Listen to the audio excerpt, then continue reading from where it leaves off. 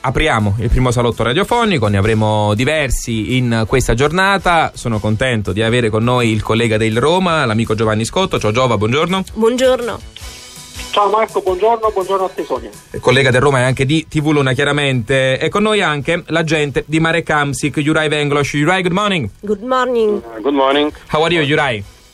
Very good, thank you. Ok, gli abbiamo chiesto semplicemente come sta, la sua risposta è che sta molto bene. Giovanni, chiaramente ti lasceremo eh, tutto lo spazio che vuoi per eh, parlare con Yurai, come sempre facciamo in queste circostanze. Usami tranquillamente come traduttore. Parto io con eh, una domanda anche abbastanza scontata, però doverosa per capire un po' come sta il Napoli. Abbiamo anche letto questa ricostruzione eh, di Repubblica, abbiamo letto attraverso il Corriere dello Sport di una cena che c'è stata ieri sera per ricompattare il gruppo. Ma come sta Marek Hamsik, lo chiedo subito a Juraj Venglos, qual è stata la sua reazione dopo la sconfitta di Liverpool. Uh, Juraj, how is Marek after Liverpool uh, defeat? Which uh, was uh, his reaction against this defeat? No, I can't hear you very well, but uh, if I understand, so that look, I didn't speak with Marek after the match, so I don't know, but I saw the match, so. and what I what I what I saw that um, he played well. Uh, he didn't play worst match as I read in some newspapers. So uh, yeah. it was it was difficult match because Liverpool was pressure uh, uh on defense uh, very much, and my opinion, uh, Marek played one very good match, not worst match, you know. So, but it's normal. It's normal when the team is not going to Champions League of the spring time, you know so they starting uh, starting attack, you know, uh, some players. But I really don't think so that Marek played bad. Completely different. Marek played very well. Ok, um, traduco anche perché da tanti anni, Giovanni lo sai anche tu, parliamo un po' tutti quanti con Yurai, è difficile sentirlo irritato, oggi invece lo stiamo sentendo un po' irritato. Allora, Marek sta bene, non ho parlato direttamente con lui dopo la partita, ehm, sappiamo quello che è successo, però ho letto anche un po' i giornali francamente c'è un po' di amarezza nell'aver letto che è stato il peggiore contro il Liverpool. Dal punto di vista di Juraj Venglos, eh, il calciatore ha giocato molto bene, è, stato, è stata una buona partita, molto buona la sua, non si tiene conto di di quello che significa la pressione del Liverpool in eh, campo. Non è stato assolutamente il peggiore non penso che sia giusto che Marek venga criticato in questo modo, visto l'avversario che si è affrontato. Queste sono un po' anche le idee di Juraj Venglos. Io Giovanni ti chiedo prima di tutto un parere e poi chiaramente una domanda da rivolgere a Juraj.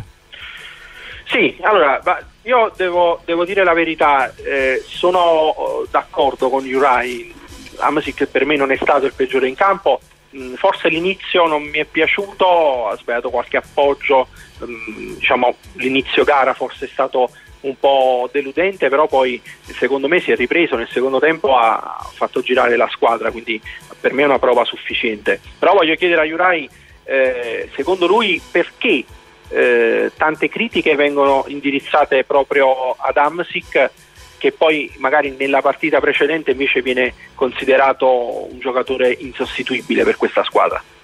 Uh, my colleague Giovanni Scotto asked you uh, why, uh, in your opinion, uh, so many critics uh, for Marek against his uh, performance in the match before in the before match with Atalanta. He was apologized by media. So, why, in your opinion, he was criticized so much after this match?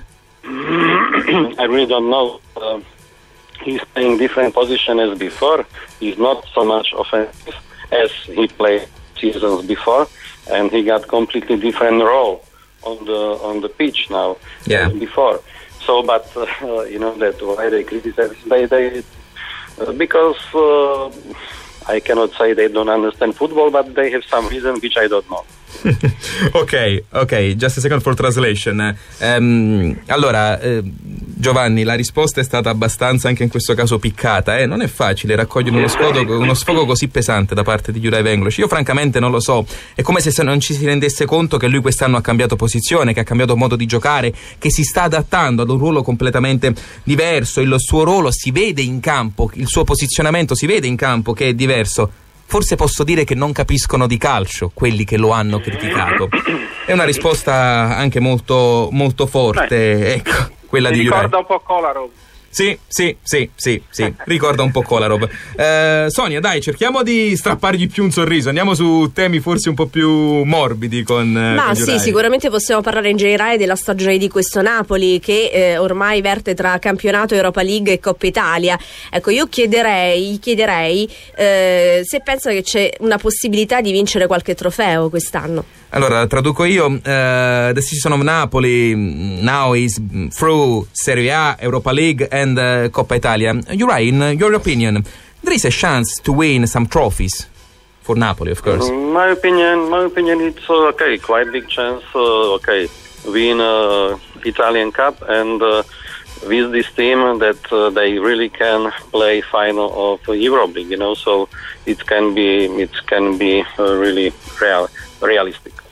Ok, in- nella sua idea ci sono grandi possibilità di vincere la Coppa Italia e anche di andare molto avanti, di provare a vincere L'Europa. l'Europa League, sì, assolutamente. Ecco, allora la Serie A non la menziona. Io mi sento di chiedergli eh, qualcosa legata anche alla Serie A, perché l'anno scorso è stata una lotta meravigliosa. Questa è un po' l'ultima domanda che facciamo al nostro ospite, Juraj Venglos.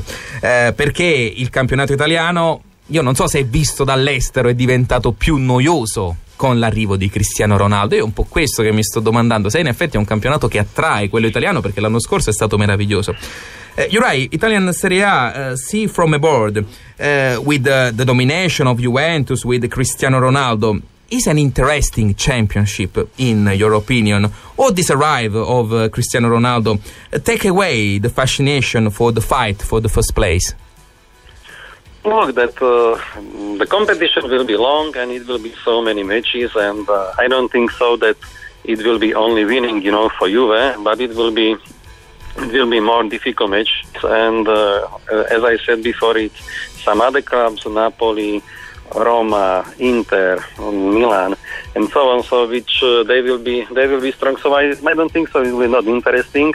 Of course, Juve is strong. Uh, it will be quite difficult to be not a champion, but uh, you know I will be, of course, only happy in case that uh, Napoli will do it Yeah. better as Juve, but uh, it will be very difficult. But I don't. It is interesting, and it's not. Uh, it's interesting because it's uh, Ronaldo, it's on Juve and in the Italian Serie A. Okay, you're right. Thank you so much to stay with us. Uh, we try to defend Marek, that is a Napoli legend, and thank you so much to help us to do this. Okay, thanks for calling. Ok, Bye-bye. ok, thank you, bye bye. Bye. Allora, io ho detto che Hello. chiaramente abbiamo attraverso di lui provato a difendere quella che è una leggenda del Napoli che si chiama Marek Hamsik. Traduco l'ultima risposta che ci ha dato a proposito della, eh, della Serie A. Il campionato è lungo, ci sono tante partite. Io non credo che la Juventus vincerà sempre, ci ha detto eh, Juraj Venglos. Sono partite molto difficili quelle che aspettano la Juventus, in particolare quelle di ritorno con Napoli, Roma, Inter, dove potrà perdere diversi punti. La Juventus è chiaramente molto forte, la favorita per il campionato, ma non pensa che un- sia un campionato già chiuso ed è per questo motivo che la Serie A continua a conservare il suo fascino.